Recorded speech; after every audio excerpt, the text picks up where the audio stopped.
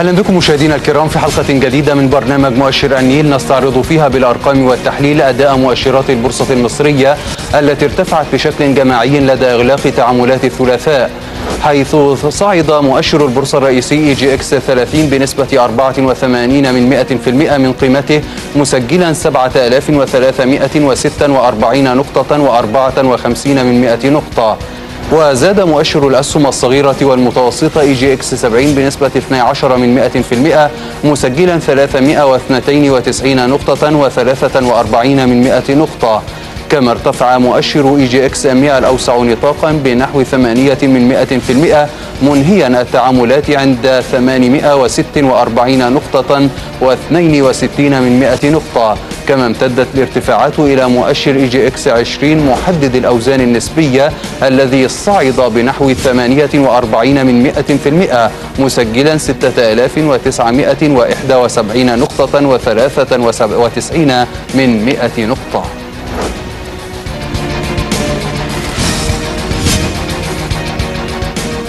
نتحول إلى قائمة القطاعات النشطة في السوق اليوم حيث كان قطاع العقارات الأنشط وتصدر القائمة بنسبة 20 و 93 من 100% تلاه قطاع الخدمات المالية بنسبة 18 و 41 من 100% وجاء قطاع البنوك ثالثا بنسبة 18 و 24 من 100% بينما حل قطاع منتجات منزلية وشخصية رابعا بنسبة 10 و 31 من 100%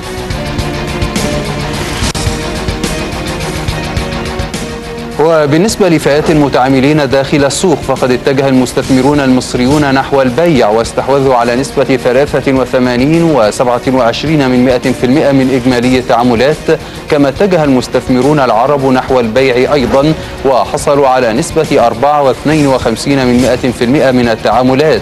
بينما اتجه الأجانب نحو الشراء واستحوذوا على نسبة 12 و21 من 100% يأتي هذا في الوقت الذي اتجه فيه المستثمرون الأفراد نحو البيع واستحوذوا على نسبة 39 و2 من 100% من التعاملات. في حين مالت المؤسسات إلى الشراء وحصلت على نسبة 60 و97 من 100% من التعاملات. وعن الأسهم الأكثر ارتفاعا تصدرها سهم القاهرة للزيوت والصابون بنسبة 7 و10 من 100% تلاه سهم الدلتا للسكر بنسبة 5 و23 من 100% ثم سهم المجموعة المصرية العقارية بنسبة 4 و88 من 100% وحل رابعا سهم النصر للملابس والمنسوجات كابو بنسبة 4 و48 من 100%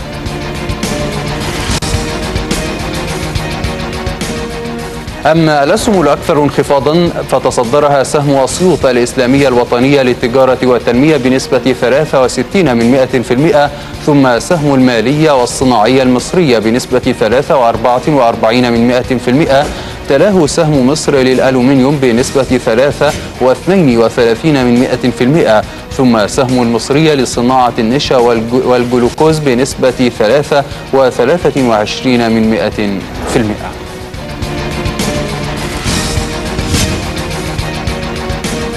هذا وقد ربح رأس المال السوقي لأسهم الشركات المقيدة بالبورصة نحو مليارين وثلاثمائة مليون جنيه ليصل إلى 448 مليارا و300 مليون جنيه بعد تداولات متوسطة بلغت 705 ملايين جنيه.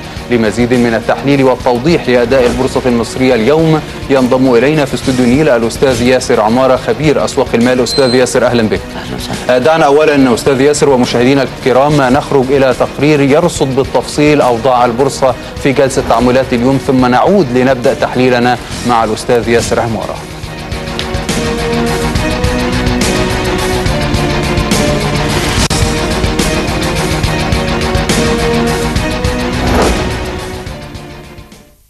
مدعومة بعمليات شراء ملحوظة من المستثمرين الأجانب أفرادا ومؤسسات قابله عمليات بيع للمصريين واصلت مؤشرات البورصة المصرية مكاسبها القوية لدى إغلاق تعاملات الثلاثاء آخر جلساتها قبل بدء عطلة عيد الأضحى المبارك.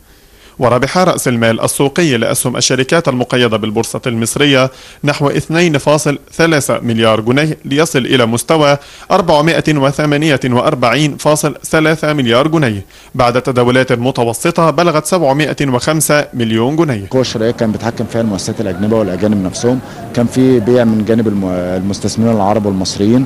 وأنا بقول إن يعني أنا شايف إن وجهة نظر الأجانب أفضل وخاصة إن هم يعني بي بي بي بيقولوا إن هم شايفين إن دي فرصة شراء كويسة جدا في جميع قطاعات أسعار متدنية فدي فرصة شراء وهو ده اللي حصل من وجهة نظر الأجنبي. مؤشر البورصة الرئيسي EGX 30 ارتفع بنسبة بلغت 84 من 100% مسجلا 7346.54 نقطة. كما ارتفع مؤشر الأسهم الصغيرة والمتوسطة EGX 70 بنسبة بلغت 12 من 100% وامتدت الارتفاعات لتشمل مؤشر EGX 100 الأوسع نطاقا مسجلا ارتفاعا بلغت نسبته 8 من 100% أعتقد إن هو ممكن بعد العيد إن شاء الله مع ضخ رؤوس أموال جديدة ومع بداية دور رؤوس أموال جديدة بعد الأجازة الطويلة إن شاء الله. أعتقد إن الأجانب هيجنوا أرباح من نتيجه إن هم اشتروا النهارده بأسعار متدنية. البورصة المصرية أعلنت أنها في عطلة رسمية اعتبارا من الغد بمناسبة الاحتفال بعيد الأضحى المبارك وتستمر العطلة لمدة خمسة أيام على أن تعاود البورصة المصرية نشاطها اعتبارا من يوم الاثنين الموافق الثامن والعشرين من سبتمبر الجاري. من مقر البورصة المصرية أندرو كامل النيل.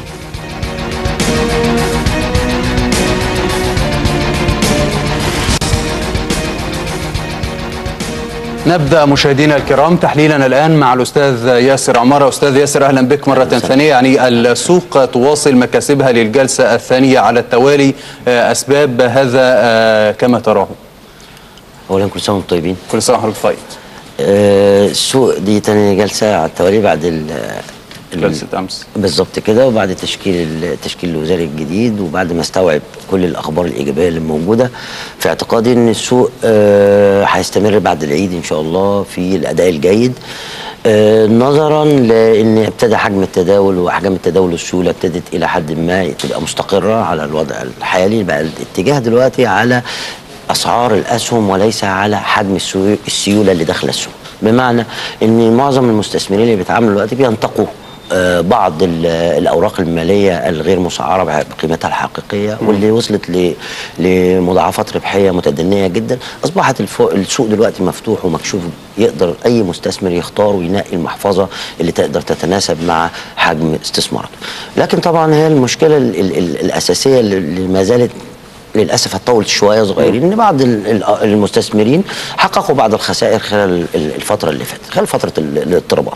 حضرتك لو تلاحظ إن ال- ال- التذبذبات عنيفة جدا جدا جدا في جميع المؤشرات سواء المحلية أو الإقليمية أو العالمية. تذبذب عالي جدا. يومين يطلع 4 و5% ويومين ينزل 3% طبعا أنا بتكلم على مستوى بورصات العالم سواء أمريكا أو أوروبا أو آسيا حتى الصين بالتحديد. حجم شكل التذبذب اللي موجود على المؤشرات والتعامل اللي موجود ده بيخلي فيه حذر إلى حد ما في دخول السيولة الكتير. لكن موجود انتقاء. ففي محافظ بيتم انتقائها حاليا. ده اللي بيأكد إن شاء الله إن الاتجاه هيكون في الصاعد طيب آه، أستاذ ياسر يعني آه، إحنا دلوقتي آه، رأس المال السوقي حوالي 448 مليار و300 مليون جنيه. حضرتك شايف آه، إحنا كنا من حوالي مثلا شهر آه، كنا في آه، آه، 500 مليار أو أكثر. آه، آه، هنوصل للمستوى اللي إحنا كنا عليه دوت آه، في غضون فترة قريبة أم إحنا لسه قدامنا فترة طويلة؟ إحنا وصلنا ل 600 و620 مليار كمان. تمام. إنما هي طبعا الانخفاضات اللي, حس... اللي حدثت هو آه، موجات التصحيح اللي حصلت على آه، بعض المؤشرات وعلى السوق المصري ده اللي أدى إلى انخفاض القيم السوقية. وده زي ما بقول لحضرتك بيبقى دافع إيجابي إن فعلا إن حجم رأس المال السوقي اللي موجود دلوقتي 448 مليار هو لا يعبر عن قيم الشركات اللي موجودة. فالتنشيط دلوقتي اللي موجود في البورصة في الحقيقة على جذب شركات ذات رؤوس أموال كبيرة للقيد في البورصة سواء لأول مرة أو زيادات رؤوس أموال في الحقيقة. في آلية يعني معظم الشركات ابتدت تتبعها دلوقتي اللي هي بتعمل زيادة رأس مال بالقيمة العادلة. في الحالة دي بيقدر إن هو إن يطلب زيادة رأس مال بس بالقيمة العادلة للأسهم الشركة وليس بالقيمة الإسمية كما هو متعارف. فبالتالي ما بيظهر القيمة العادلة عن طريق مستشار مالي مستقل لشركات متخصصة في هذا المجال تقدر إن هي بتفصح عن القيمة الحقيقية للسهم. اللي هي في, في تصوري ولبعض الاختبارات اللي حصلت على بعض الأوراق المالية المتداولة إنها القيمة الحقيقية لها أقل مما يتداول حاليا. تمام. طب أستاذ ياسر هل السبب الوحيد في استمرار يعني الأرباح والارتفاعات دوت إن أسعار الأسهم أصبحت مغرية للمستثمرين أم أن هناك أسباب أخرى ربما تكون قد طرأت من وجهة نظر المستثمرين؟ لا هو في أسباب أخرى طبعا بالإضافة إلى إن تقييم الاوراق الماليه المتداولة دلوقتي هو تقييم غير عادل إلا إن في أسباب أخرى كتير. طبعا موضوع الاستقرار السياسي اللي إحنا داخلين عليه من الاستحقاق الثالث بالنسبة لانتخابات مجلس الشعب مع برضو المجموعة الوزارية والحكومة الجديدة في بعض التفاؤل في موجة تفاؤل شوية بين الأوساط المتعاملين في السوق دلوقتي. ان ما تنساش حضرتك برضو إن إحنا مرتبطين ولو بشكل بالأسواق المالية العالمية والأسواق الأوروبية. وخصوصا الصين وما تفعله حاليا من إنها عايزة تاخد موضع موطئ قدم في وسط الدول العظمى بإنها تكون ذات عملة احتياطي مثل أمريكا واليابان وإنجلترا. فبالتالي الاضطرابات اللي بتحصل دي هي تغيير هيكلي في شكل الموازين النظام المالي العالمي. فهذه التغييرات اللي بتحصل والتذبذبات العنيفه والشواهد اللي باينة وتؤكد إن دي حالة مؤقتة. ده اكبر دليل إن أمريكا آه عفوا إن الاحتياط الفدرالي الاحتياط الفدرالي الأمريكي في اجتماعه الأخير الخميس الماضي ثبت سعر الفايدة ولم يرفع تمام. طيب لو عدنا إلى جلسة تعاملات اليوم ونظرنا إلى أداء المستثمرين هنجد إن المصريين بيستمروا في اتجاههم البيعي إيه يعني اللي بيؤدي بالمصريين المستثمرين إلى هذا الاتجاه البيعي اهو اتجاه بيعي بس مع ثبات مؤشرات وارتفاع. برضو ده آه. يعني لازم نربط بين الحالتين. دي اتجاه بيعي وهتلاقي الاتجاه البيعي هو بيمثل قبل الأجازات بفترات طويلة دايما ودي دورات معروفة. آه. ما بيبقى في أجازة أربع أو خمس أيام. آه في الغالب المصريين هم نعم المصريين معظمهم هو اللي بيتخلص بجزء اللي عايز يجيب خروف عايز يقدر يتجهز للعيد يعني. آه فهتلاقي حتى حجم البيع مش بكميات كبيرة لكن آه مؤشر طبعا آه بيتاثر إن هو مرتفع. تمام. طيب لو نظرنا إلى أداء المؤشر ال 30 EGX 30 هنجد إن هو ارتفع بحوالي 84% مقابل ارتفاع ضعيف للمؤشر EGX 70 بحوالي 12% حضرتك شايف يعني أداء كل من أو أداء كلا المؤشرين إيه؟ كل مؤشر بيرتبط بالظروف الاقتصادية العامة الموجودة في البلد وحجم المستثمرين اللي بيتداولوا عليه. في الشريحة الكبيرة هي اللي بتتداول على المؤشر EGX 70 70 لأن هو المشروعات الصغيرة والمتوسطه اللي هو بتاع الشركات الصغيرة أو المتوسطه. فبالتالي هذه المج... الفئة اللي أكثر تحركا على هذا المؤشر. هو تلاحظ إن هو ارتفع في اليومين اللي فاتوا أعلى ما ارتفع من EGX 30 وقت الارتفاعات فبالتالي هو خلص الدورة بتاعته وابتدى دلوقتي EGX 30 هو اللي ياخد الدورة الثانية EGX 30 طبعا بفعل ال CIB كوزن مؤثر فيه. آه بعد ما وصل ل 54 جنيه تقريبا النهارده أو لمسها قدر المؤشر إن هو يخترق نقطة مقاومة مهمة جدا جدا جدا ودي المحللين الفنيين يهتموا بيها. كسر نقطة مقاومة 7250 نقطة. واستقر فوق السبعة قرب ال 7400 نقطة. ده اللي بيأكد أو التحليل الفني بيؤكد إن هو ابتدى ياخد الشكل اتجاه صاعد ولو بشكل بسيط. فبالتالي إذا جت عمليات تصحيحية هتبقى عمليات بسيطة لكن ما زال الاتجاه صاعد النقطة المحورية إنه يكسر ال 7500 نقطة ثم يواصل بقية الرحلة مع الأخبار العالمية. أما بالنسبة ل EGX 70 أتصور إن هو هيبقى عليه حركة عالية جدا مع التفاؤل اللي هيكون موجود لأن معظم معظم المستثمرين اللي بيتعاملوا على المحافظ الصغيرة أو الأوراق الصغيرة معظمهم ابتدوا هيخشوا في دورة الأعمال النشطة بعد استحقاقات المدارس وبعد الأعياد وبعد فإحنا بالنسبة لنا بنعتبر ده موسم التعامل في البورصة. تمام. طيب أستاذ ياسر إلى أي مدى بيترقب المستثمرون ال- الانتخابات البرلمانية المقبلة؟ وهل هي آه، مؤثرة بشكل أو بآخر على تعاملاتهم أو اتجاههم آه، العمليات في السوق سواء بالبيع أو بالشراء أو بالاحتفاظ بمحافظهم المالية؟ هنا لازم نفرق بين نوعين من المستثمرين المستثمر المحلي والمستثمر الأجنبي أو العربي. المستثمر المحلي هو عارف كويس قوي إن خريطه الطريق ماشية في طريقها وهو يعني يمكن ما لهاش تأثير جامد موضوع انتهاء الانتخابات آه، مجلس الشعب. بل بالعكس هو في الحالة دي هو بيبتدي بيقول لك أنا عندي فرصة إن أنا أقدر إن أنا أقف على رجلي تاني أقدر أشكل المحفظه وأنوعها بشكل آه، محترف بشكل يؤدي لتحقيق أرباح ونتائج إيجابية. قبل استحقاق مجلس الشعب. آه، في اعتقادي ان إن تاثير انتخابات مجلس الشعب ابتدى ابتدى منذ الإعلان اليوم الأول عن فتح باب آه، الترشح لانتخابات مجلس الشعب. قرب ما بنوصل للاستحقاق نفسه بيكون السوق استوعب هذا الخبر فبيبتدي ان هو يتعامل مع حدث جديد. ما هي شكل القوانين التي سوف يتم مناقشتها المرحلة اللي جاية هل هي مرتبطة بالإقتصاد والضرائب؟ بصفة عامة ولا مرتبطة بالأمن والسياسة والدبلوماسية. فأعتقد إن هي دي هتاخد وقت مش قبل ست شهور على الأقل بعد بعد المجلس ما يتم انتخابه نبتدي نشوف القوانين والقرارات اللي مت- طيب طب إيه إيه أبرز اللي بتنتظره السوق المصرية من الحكومة الجديدة ومن المجموعة الاقتصادية على وجه التحديد؟ هو في الحقيقة كل اللي موجودين آه، والمتعاملين في السوق بينتظروا استراتيجية واضحة. واضحه المعالم. بمعنى؟ بمعنى يعني أحط آه، آه، أحط خطط لمدة أنا ما بقولش 10 سنين و15 سنة إحنا بنقول قصيرة الأجل ثلاث وخمس سنين. الحكومة تعرضها بشكل محترف بشكل واضح بشكل سهل الفهم يتناسب مع ال ال ال ال ال ال البيئة المحيطة اللي إحنا بنتعامل فيها. ال- المستثمرين محتاجين رؤية اوضح حتى المصريين مش الأجانب بس حتى المصريين.